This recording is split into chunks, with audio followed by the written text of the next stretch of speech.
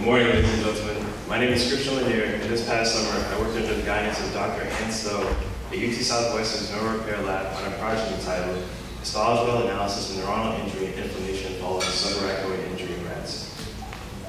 Before I get to the specifics of my research, I'd like to present you all a little background information.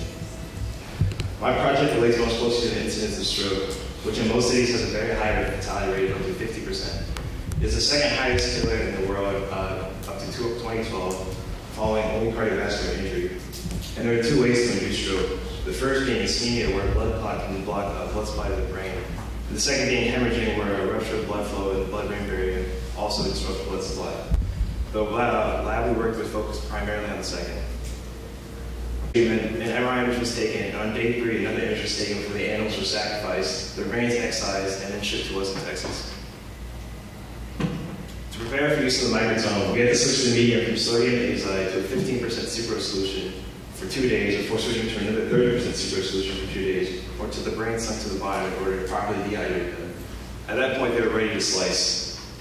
Once we wanted to slice them, we had to cut off the cerebellum so they could lie flat on the platform, and here orientation was very important. We had to make sure the ventral surface was facing the user, the dorsal surface, uh, surface outwards, with the rostral surface up and the caudal surface down. Being towards the nose, caudal towards the tail, ventral the stomach, and dorsal the back of the rat. then we had to make sure we registered the left and lateral side of each brain to keep it consistent. We did this with a 23 gauge needle and slightly perforated the brain to a small point to avoid damaging it. We also had to chill the platform with dry ice and then use uh, to provide a frozen uh, adhesive for the brains. From there, we used the MRI imaging we had before as well as a rat brain atlas to find where we wanted to start looking at the brains of the rats.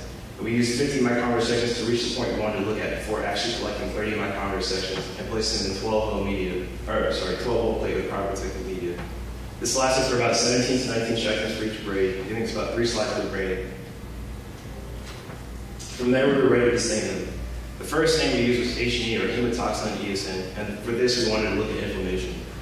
For we had to, to do this, we had to slow dive for several seconds before using paraformaldehyde to fix them, rinsing them in tap water, uh, them in hematoxin for two, three minutes, another rinse, then ammonium hydroxide, rinsing them again, exposing them to eosin, and then several different concentrations of ethanol and xylene to dry them out before we fix them with the cover slip and more xylene.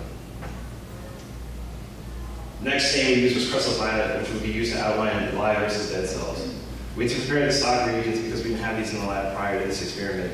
But once those were ready, we could stain the slides for about 15 minutes, rinse them again, and again increase the uh, concentration of ethanol to dry them out. For xylene was used, then perma and cover to fix them.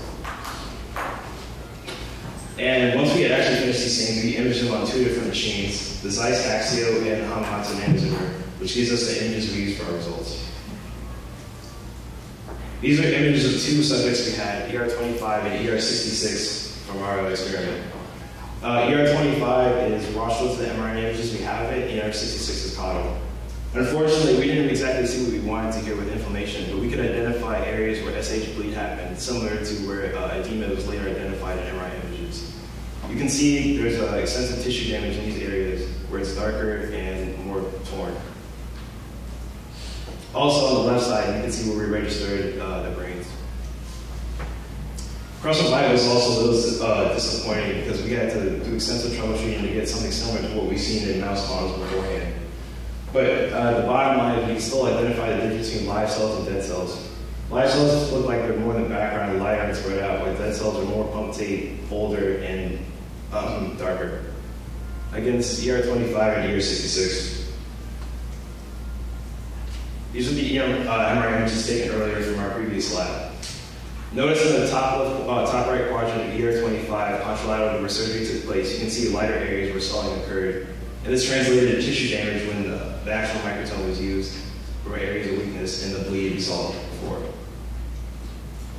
And the other stains we'd like to have used but didn't get around to using were Luxol Fast Blue, the same for axons, and alkaline phosphatase, the same for blood vessels.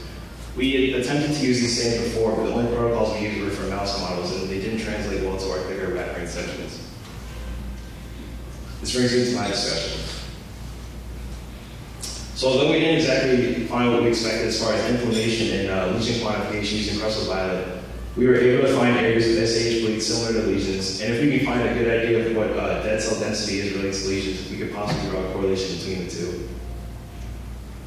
For future research, we'd like to troubleshoot uh, the other stains and incorporate them into our profile, as well as using further imaging with the nanozoomer and Axio. We then like to uh, find the link between spreading localization and inflammation immune response in the bigger picture. For my acknowledgments, I'd like to acknowledge the rest of the NeuroCare lab for assisting me with new techniques throughout my uh, stint there, as well as the UMC Retract lab for entrusting me with their subjects, as well as.